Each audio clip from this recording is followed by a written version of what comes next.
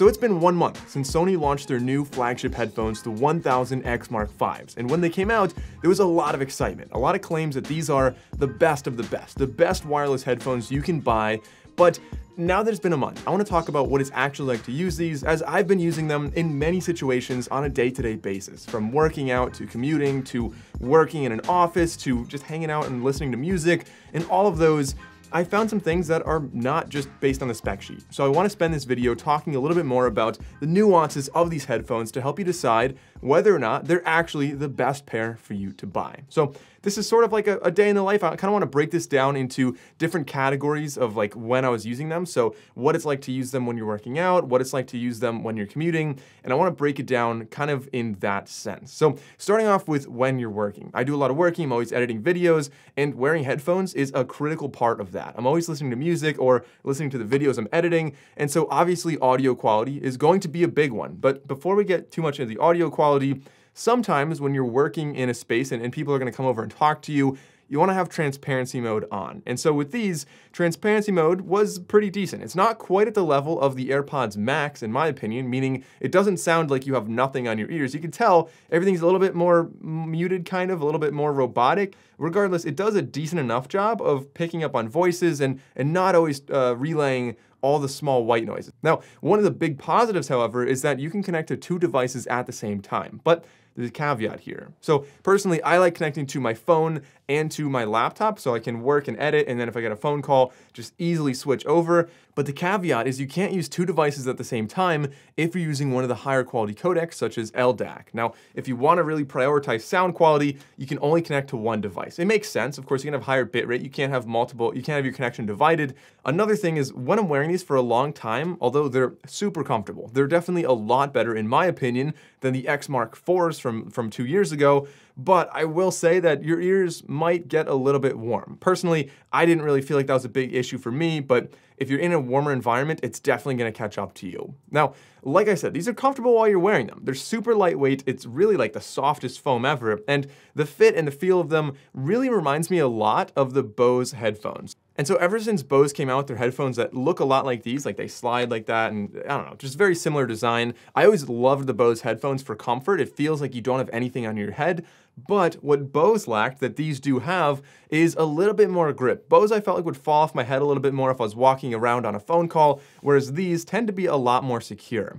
Something I thought was kind of interesting is that they call this vegan leatherette, which uh, is a hilarious marketing term for synthetic fake leather. But regardless, like I said, very comfortable. It should be pretty easy to clean as well, and I'll talk more about replacing the ear cups later on in the video. Now, the last thing with regards to working, like I said, I'm always on phone calls all the time, whether that's Zoom calls for meetings or just actual regular phone calls. So let's get into a microphone test in several different environments. So starting off with the microphone test indoors, you can see it does a pretty decent job. And now this is the microphone with a lot of traffic behind me. It's also pretty breezy out here, but once again, this microphone does a pretty decent job. That's my summary of when I was wearing these while working. Let's talk about when you're relaxing, listening to music, watching movies, whatever it is.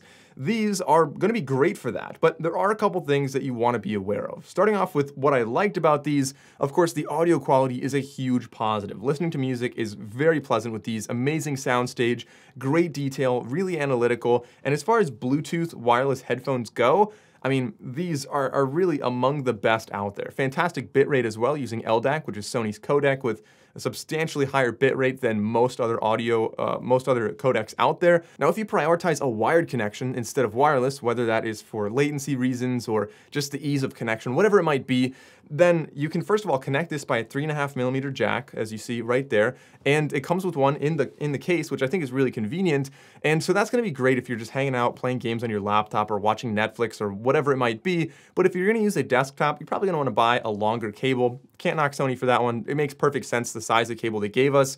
And a big positive here is that when the headphones are off, you can still play music through these using the jack. But one kind of drawback kind of related to that, and I'm not sure why Sony still does this, you're not able to have any kind of playback through USB Type-C cables. Unlike a lot of other headphones like the Sennheiser Momentum 3s, for example, where I can play music from my laptop or my desktop simply by plugging it in with a USB Type-C cable. Now the benefit there is that you can have ANC or transparency on without ever killing your battery. In fact, they're charging these these while you're listening to music, while you're using your microphone, while you're using ANC, whatever it is, the battery is obviously never going to die if you plug in like that. So Again, I wish Sony would do that, especially at this price, but, and of course, when you're just relaxing, I already said sound quality is great, comfort is fantastic, latency is really not that bad. With these, I mean, they're gonna be perfect for a lot of things. Anything I talk about here is kind of I mean, borderline nitpicking, but I want to point out things that maybe are not the best about these, or things that I think I would like to see improved. And the next one is really the app. Although I really love these headphones in, in almost all regards,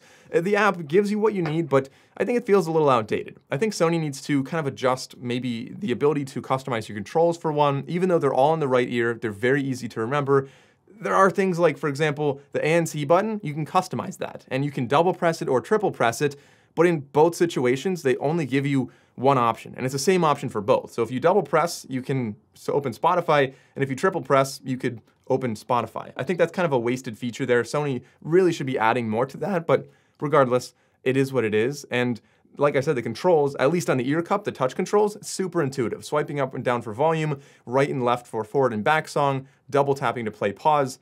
I don't know, can't get much better than that. And another benefit is they're only on the right ear cups. You never have to remember right versus left, which ones play, which ones pause. So convenient. And of course, if you've seen any of the reviews when it first came out, you probably know these are also really easy to pair from NFC pairing, just tapping your phone on there, or Google Fast Pair as well. Like as soon as you turn them on, it pops up on an Android device. And of course, they come with no plastic or plastic-free packaging. Again, great initiative for the, uh, for the environment. I'm happy Sony's doing that. So I work all day, I hang out for a little bit in the evening, and I, I know you really shouldn't do this before you go to bed, but I always work out like way too late. I'll, I'll start a workout like 10 or 11 p.m.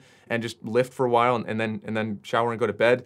Not good, I know. But if you want to wear these headphones when you're working out, this is something that I could have pictured a lot of people doing. You spend a lot of money on a good pair of headphones, and although they're not specifically marketed to working out or to a kind of a fitness crowd, they're still going to be a pretty solid pair. There are a couple things you want to be aware of. So starting off with the positives, they fit really well. Like I said, much more secure than the Bose headphones in my opinion. So if you look at workouts in like three different levels of, of like head movement, the first one being just squatting and benching and things like that, I've done that. These absolutely pass the test. Super easy. They never fall off. Then level two would be like a run. So going on a run with these, as long as your ears don't or your head doesn't get really sweaty, they definitely stay on. So if it's a little cooler out, they're gonna be perfect. In fact, in the winter, they'll even keep your ears warm. But in the, the, the heat of the summer, I don't know if these are gonna be the best, and I'll explain why in just a second, but regardless, they passed level two. Level three would be something like burpees. And again, I've done burpees with these on, and they don't fall off my head, which I was really, really impressed with. Considering how comfortable and light they feel, they don't feel like they're clamping your head, and yet they're still on really securely. But there is a caveat. When it comes to working out, one reason that these are not going to be ideal, and that's why I said you don't want to wear these when it's hot out and, and you know, if you're going for a run, that's because they don't actually have a water resistance rating. So they tell you that you probably shouldn't wear these if it's raining outside or drizzling or if you're really sweaty because you could potentially damage the headphones. Now, that doesn't mean that you definitely will just from being a little sweaty, but it's something that maybe you don't want to risk. And if you wear these when you're working out, I mean, I recommend cleaning them after every workout, but eventually you're still gonna wanna be hygienic and replace the ear cups. You know, if they, you know, they might get a little smelly or who knows. But replacing the ear cups, the positive here is that they're very easy to replace and they're relatively affordable. You can find them on Amazon for maybe 15 or $20. And like I said, you just pop them out, it just snapped in place. So a little screwdriver along the edge will just pop the snaps right off and you're ready to go. And, and, not to talk about sound quality too much again, but when you're working out, you want something that's loud and you want something with a lot of bass capabilities, or at least I do. And these really check the boxes there and make it very easy to get in the zone and work out. And the last thing I want to talk about with working out is the gestures are very simple, which makes it great for if you're doing if you're on a run, you're working out or whatever it might be, and you want to skip your song, you just swipe forward. It's super easy. You don't have to worry about finding a small button and double pressing it or triple pressing it or anything like that. Now, the last category I want to talk about is traveling or commuting. So whether you're on a big trip across the country and you're flying, or if you're just on a bus going into the city, there are some pros and some cons here. The first con is that as far as portability goes, these are not great. Like they're pretty durable and all, but the case is just, it's large. It doesn't let these fold down like the old model did. And so that's a, definitely a big negative there. But regardless of the case size, these are still my favorite headphones for traveling for a couple of reasons. One, Like I said, the battery seems to last forever. I can easily use these for 25, 30 hours, and they never die on me. And the second thing, probably the biggest one, is the active noise cancellation. These, in my opinion, are the best ANC headphones on the market right now. And I know this is something that a lot of people debate and there's different, there's a lot more layers to ANC than people realize. It's not just the raw power of the ANC, but rather how much white noise there is, how clean it is, and what frequencies are really blocked out. And I think these do a great job of not just blocking out the frequencies with the active noise cancellation, which are generally the lower frequencies, but they also have some slightly better passive noise blocking than the previous models. So these are gonna block out higher sounds as well, from crowds to voices to whatever it might be. It really does a great job blocking pretty much everything out there. And when you're traveling in public, of course, you want something that looks good. In my opinion, these are a little bit more stylish than the X Mark IVs, which were a little bit bland, these I think look a little better. And a huge travel feature these have, if you're on a bus or a train and you want to hear your stop, is actually the palm, like the cupping feature. So if you just go like this and hold your hand there,